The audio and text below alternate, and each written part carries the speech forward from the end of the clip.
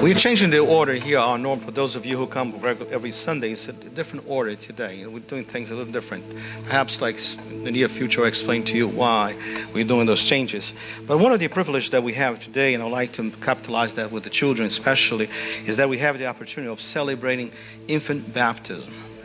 If you look at the Old Testament, we just read from the Old Testament, right? We, we see right in the first book of the Old Testament, in the book of Genesis, and uh, we have in chapter 17, especially from uh, 12 on, but especially 17, when God enters into a covenant we, we have like, we, we, I love weddings, right? In weddings, you, you exchange vows, right?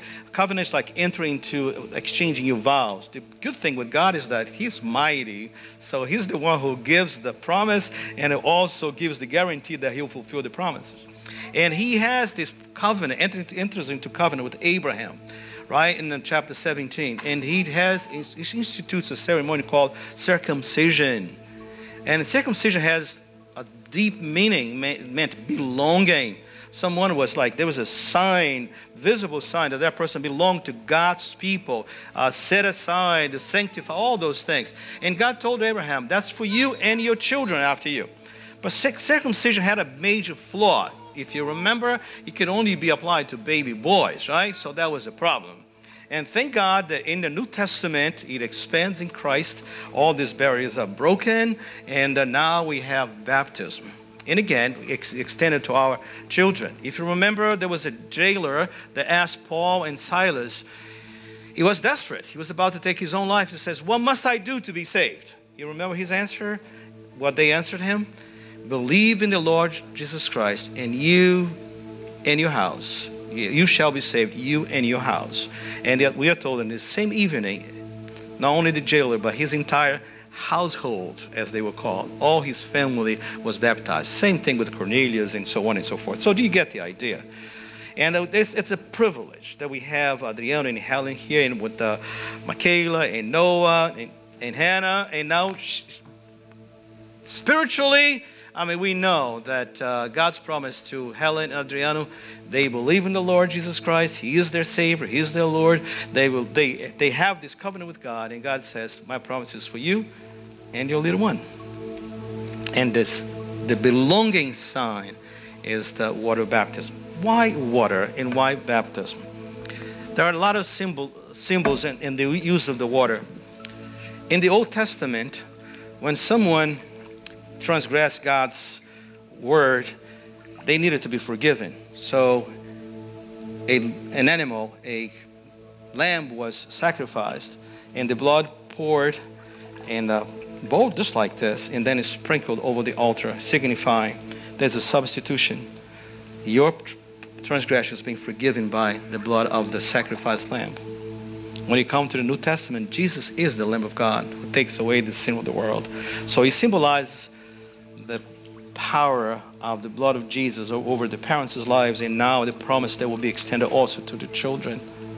So that's the forgiveness, but also belonging, just like in the circumcision, belongs to, to the church family, belongs to God's people. But that's yet another one.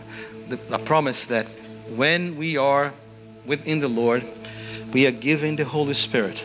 And the Holy Spirit is the one who cleanses us not from the outside in, but from the inside out.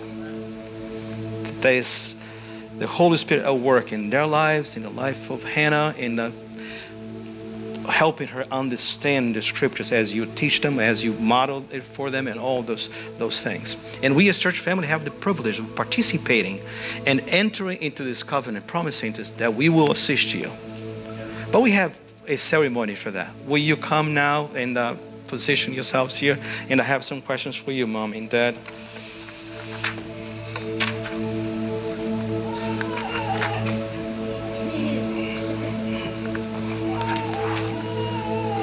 If you want to come to, let, let the grandparents come so they can, she, she will be so comfortable, right? They know and Michaela.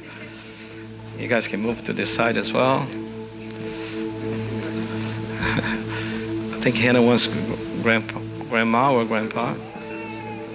That's fine. Can you guys see there too? she wants mom, right? Questions for you, Adriano and Helen. Do you acknowledge your child's need of the cleansing blood of Jesus Christ and the renewing grace of the Holy Spirit? Do you? Yes. Do you claim, we heard of, God, of God's promise, do you claim God's covenant promises in her behalf? And do you look in faith to the Lord Jesus Christ for her salvation as you do for your own salvation? Do you? Yes, we do. Do you now, with, without any reservations, Noah, to dedicate your child to God, and you promise, in humble reliance upon the Holy Spirit guidance, that you will do your very best to set before her a godly example, that you will pray with and for her, and will teach her the ways of the Lord, and that you will strive by all means to bring her up in the knowledge and in the ways of the Lord Jesus Christ to you. Yes. Adriano, may I ask you to, if you may, hold Hannah and pray this prayer of dedication? And I'll do a quick prayer out sake. Dear God, Heavenly Father, I thank you, my Lord, for this time here. Jesus, uh, this is to me is a great day. It's a day of uh, it's, a, it's a great uh, it's a day of uh, seal. It's a day of uh, of a mark, Lord Jesus. Yes, Uh, Lord. Father, as I as I did this in the past for my two uh, younger children, Lord Jesus, now I'm doing the same uh, to my youngest daughter, Father, as a proclamation, Lord Jesus, as a proclamation of your love, uh, of your greatness over her, Lord Jesus. I ask you, Jesus, in your holy and precious name, O Lord, my Father, that you receive this child right now in your arms and that you bless her as you have blessed uh, my other children and my family. yes, Lord. Father God, we trust you. We believe in you, Jesus.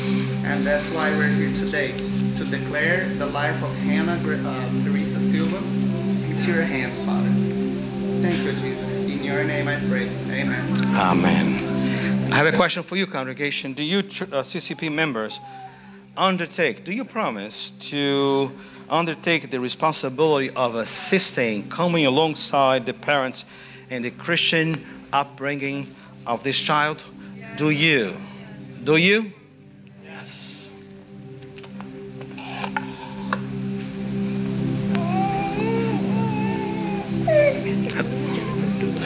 Absolutely. Please come in. They, they want you here.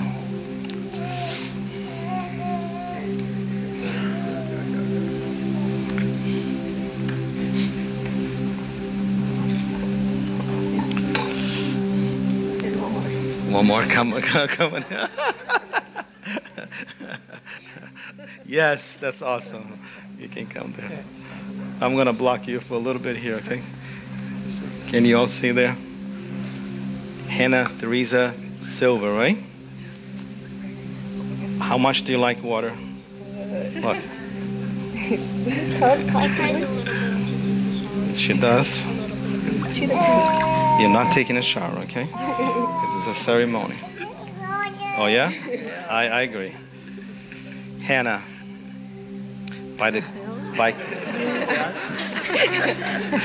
claiming God's promises, believing His promises in our Lord Jesus Christ, what He's done for us, by the authority invested in me as a minister of the gospel, I baptize you in the name of the Father and of the Son and of the Holy Spirit. And God's people say, Amen. All right.